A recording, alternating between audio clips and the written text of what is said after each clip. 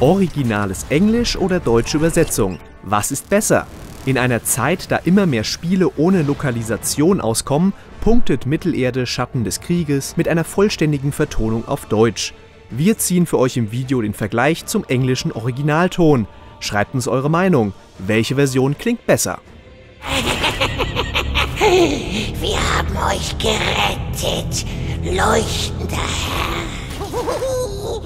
We save you, bright master.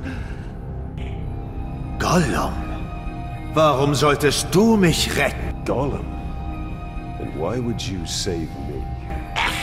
Von dir war nicht die Rede, garstiger Waldläufer. I wasn't talking to you, stupid ranger. Er steht im Dienst der Spinne. Nein, nein. He is working for the spider. Sie jubeln dir zu. Jubeln für Blut. The crowd screams for bloody spectacle, and you will give it to them. Get a right proper siege going, and I intend to get back to it. I've got killing to do and plunder the seas, and you're not getting in the way of any of it. Es gibt Menschen zu morden und Beute zu finden. Und du kommst mir nicht mehr in die Quere. It's not enough for them to destroy us. They wish to wipe away our history.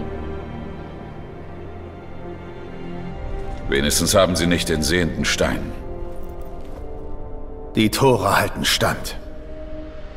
Diese Relikte waren mein Leben. Mein Vater hatte recht. My father was right. We must salvage what we can and leave.